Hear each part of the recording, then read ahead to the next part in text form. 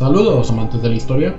Corría el año de 1857 cuando la situación política de México nuevamente se encontraba en una encrucijada. Las facciones liberal y conservadora cada día se encontraban más enemistadas entre sí y el único elemento que se creía capaz de solucionar la situación era el presidente Ignacio Comonfort.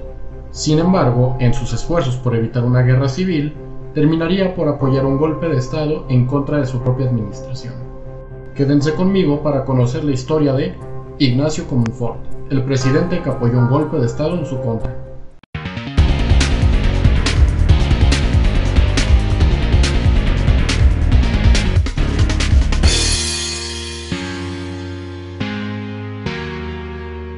El héroe del momento.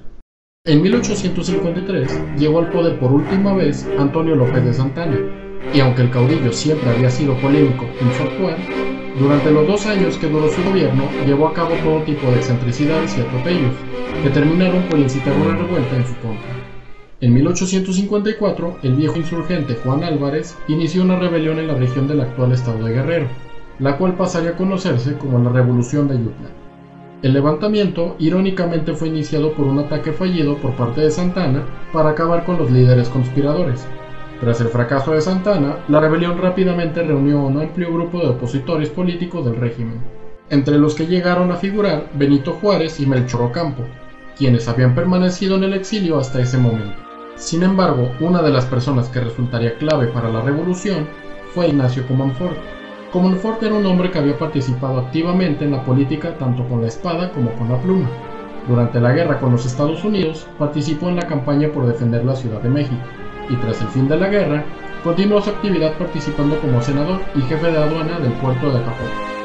Durante los años en que ejerció estas labores, terminó por conocer a Juan Álvarez, con quien trabaría una amistad que se traduciría en una alianza importante durante la Revolución de Ayutla. Ya en plena lucha contra las fuerzas santanistas, Comonfort lideró la defensa de Acapulco ante el fallido asalto de Santana, y posteriormente lideraría algunas de las fuerzas que se encargarían de propagar la revolución por Michoacán y Jalisco. Sin embargo, fue en el plano político donde más activo se mostró. Durante los momentos iniciales de la revolución, Comonfort partió a los Estados Unidos en busca de aliados y apoyo económico para la causa, y tras el derrocamiento de Santana, Comonfort ayudaría a lidiar con las diferencias de los líderes revolucionarios, además de organizar el nuevo gobierno con Juan Álvarez a la cabeza. Pese al carisma de Álvarez y ser considerado principal responsable de la revolución de Ayutla, el líder guerrerense desdeñó el cargo de presidente de la República, dejándolo poco tiempo después en favor de Ignacio Comonfort. Una tarea imposible. La victoria sobre Santana incrementó la animosidad que existía entre las dos facciones dominantes de la política mexicana, los liberales y los conservadores. La mayoría de los conservadores habían quedado en una mala posición tras la revolución, puesto que Santana había llegado al poder gracias a ellos. Asimismo, no era ningún secreto que la mayoría de los que habían participado en la lucha del lado de Juan Álvarez eran simpatizantes de la causa liberal, por lo que instituciones como la Iglesia se encontraban particularmente preocupadas por la situación que se estaba dando.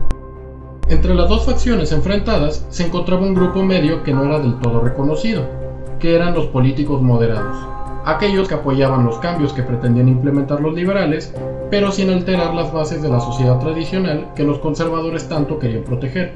Dentro de este grupo se encontraba Comonfort. Ya en calidad de presidente de México, Comonfort esperaba poder mediar entre los dos grupos políticos con el fin de evitar una nueva guerra en el país. Para ello trató de mantener un gobierno mixto con integrantes de los dos espectros políticos.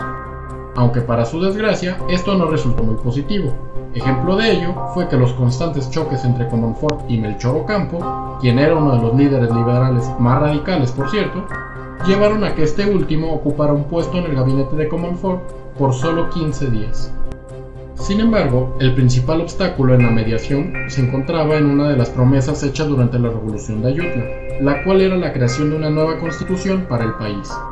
Mientras que los liberales querían implementar los cambios que buscaban a partir de la nueva constitución, los conservadores trataban de frenar la implementación de leyes que alteraran el orden tradicional. Durante el tiempo que duró reunido el Congreso Constituyente, se formularon una serie de leyes que pasarían a la historia como las leyes de reforma, escritas algunas de ellas por Benito Juárez, Miguel Lerdo de Tejada, José María Iglesias y Melchor Ocampo. A grandes rasgos, estas leyes separaban las atribuciones de la Iglesia y el Estado, limitando la injerencia de la Iglesia en cuestiones administrativas De igual manera, las leyes abolían los privilegios de las instituciones más poderosas de la época, eliminando los juzgados militar y eclesiástico, además de desamortizar los bienes de la iglesia. Obviamente esto no sentó muy bien a los conservadores, principalmente al clero, quienes rápidamente comenzaron a protestar por la nueva constitución que se estaba creando. Incluso se llegaron a protagonizar levantamientos limitados en algunos puntos del país. El problema no hizo más que agravarse, cuando la nueva constitución se promulgó en 1857 y debía jurarse por parte de todas las autoridades civiles, desde el presidente de la República hasta el personal administrativo de los ayuntamientos.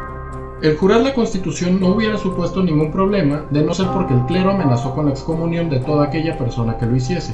Si bien hoy podría parecernos algo extraño y hasta ridículo, en aquella época la sociedad mexicana seguía siendo sumamente religiosa, por lo que estas amenazas no se tomaban a la ligera.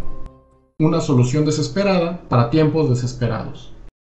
Conforme pasaba el tiempo, el presidente Comonfort cada vez tenía menos control de la situación. Si en 1856 confiaba en una conciliación entre las dos partes, un año después la situación demostraba el fracaso de su política. A pesar de haber jurado la constitución, Comonfort no estaba de acuerdo con ella, y como sus políticas conciliadoras no habían conseguido calmar a la iglesia ni a los liberales, optó por buscar una solución más radical. Para fines de 1857, el ambiente político, además de tenso, era extraño, pues los rumores de conspiración ya estaban en el aire. El día 16 de diciembre terminó de forma sospechosa al anunciarse que esa sería la última reunión que el Congreso realizaría.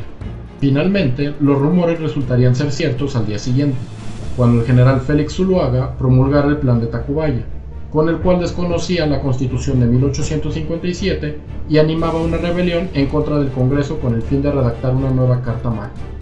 Lo más sorprendente de la situación fue que en el plan se mencionaba que el presidente podía permanecer con normalidad en su puesto, lo que hacía sospechar del involucramiento de Comonfort. Poco después, las sospechas se hicieron realidad cuando Comonfort admitió su responsabilidad en una proclama, en la que aludía a la necesidad de frenar la política que se había llevado hasta ese momento al tiempo que consideraba necesario crear una nueva constitución. Aunque esto fue considerado como una traición por parte de los liberales, quienes lo creían de su lado, Comonfort creía que su autogolpe de Estado realmente era el camino para forzar un liberalismo más moderado que pudiera conciliar a todos, por lo que debía tomar las medidas necesarias para que el plan de Tacubaya triunfara. Con tal cometido en mente, ordenó arrestar a todos los integrantes de su gabinete que no respaldaran el nuevo rumbo que se estaba tomando, además de enviar proclamas para convencer al resto del país de apoyarlo.